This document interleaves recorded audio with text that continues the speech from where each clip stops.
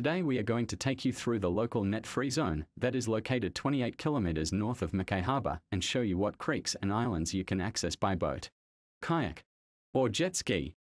The net-free zone starts just around the south headland from Cape Hillsborough where you can launch your boat off the beach. Just remember there is a small green zone to the north of the beach to make sure to check your maps. Located just to the south of the beach you will find Wedge Island which also has low tide land access. Another access you have is just around the headland at Hidden Valley where you have during the top half of the tide. Next up the coast we have Ball Bay. It also has beach access for a short trip into Spring Creek or north to Halliday Bay. Spring Creek can be accessed usually in their top half of the tide and does hold water during the low.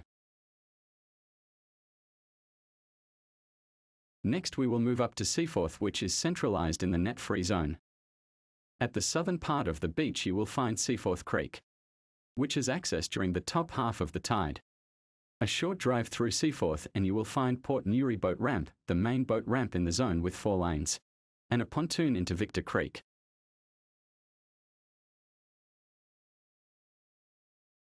Be careful moving around the area at low tide with a number of rock and sand bars to be aware of. From this creek you will have access to many creeks and islands in the bay. Take note this satellite imagery is from low tide. From here I like to use satellite imagery like Google Earth or Navionics to find the channels north into places like Clunie Creek. Most creeks like Clunie and Canoe consist of deeper holes with a combination of mostly sand and mud with some rock and gravel patches.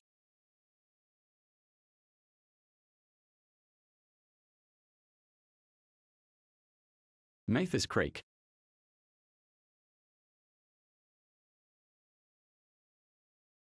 Murray Creek is the next creek along the coast that has a boat ramp. The single lane ramp can be found about 45 minutes north of Mackay at the end of Little Bogger Road. St. Helens Creek.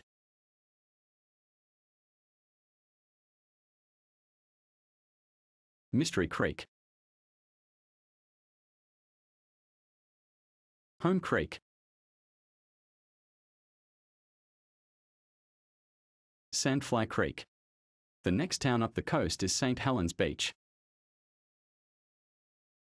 Just under an hour north of Mackay there is St. Helens Beach Boat Ramp, a new single-lane tidal ramp located on a rock wall.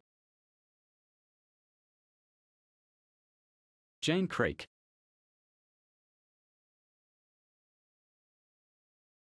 Blackrock Creek. Saunders Creek. Located at the north of the bay is a green zone around the Brothers Islands at the most northern part of the net-free zone, so make sure to check your maps when in the area. Now let's make our way back down the coast following the islands. High Islands.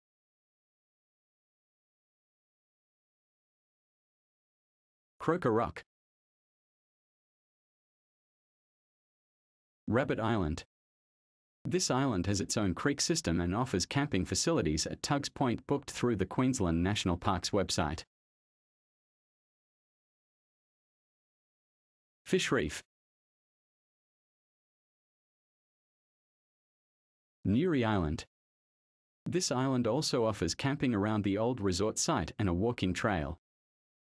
Outer Newry Island which also offers camping facilities both able to be booked through the Queensland National Parks website. The next three islands are also located in a green zone. Acacia Island, Mausoleum Island, Rocky Island. Then back to the northern end of Seaforth Beach you will find North and South Redcliffe Islands which can also be accessed by land on the bottom of the tide. Just remember that this whole area is populated by crocodiles, dugong and turtles and many different species of sharks, jellyfish and other poisonous animals so always keep an eye out for hazards and respect the animals in their habitats. I hope this video helped you find a new location you would like to explore and big thanks to Hooked on Mackay for the work they are doing towards sustainable fishing in the area.